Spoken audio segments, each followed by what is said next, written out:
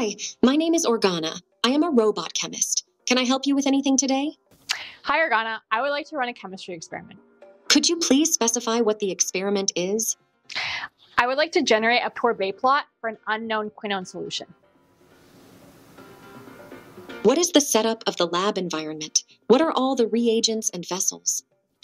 So in my lab environment, I have a, a 10 millimolar solution of an unknown quinone. I have water, I have a one molar solution of sodium chloride, and I have um, 0.5 molar solutions of pH buffers ranging from pH 4 to pH 9.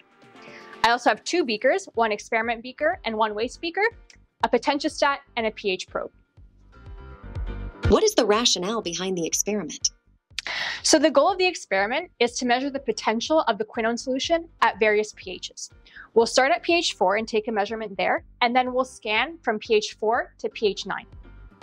Could you please provide an example of how to run this experiment? Yep. So to run this experiment, I would first add 6 milliliters of pH 4 buffer solution. Then I would add 3 milliliters of sodium chloride solution, followed by 15 milliliters of water. Finally, I will add 6 milliliters of the quinone solution. Then I would measure the pH and run a CV scan. And finally, I would transfer the contents from the beaker to the waste beaker. Can you tell me what the expected outcome of the experiment is? So I expect that the pH of the solution of the first experiment will be around 4, um, but a little difference is okay. Now, because it's the first experiment, I don't know what the potential will be, but the general trend is that as the pH goes up, the potential becomes more negative. What is the number of experiments to be run in total? Six.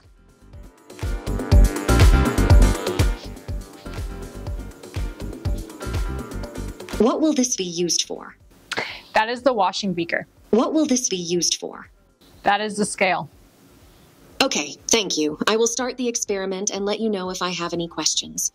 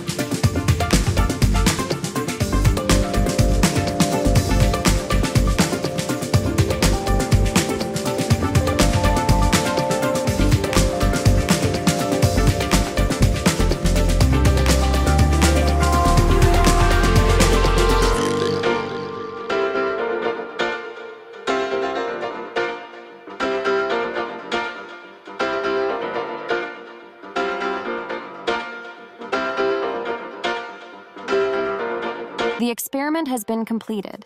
Here are the results and a report summary. Thanks.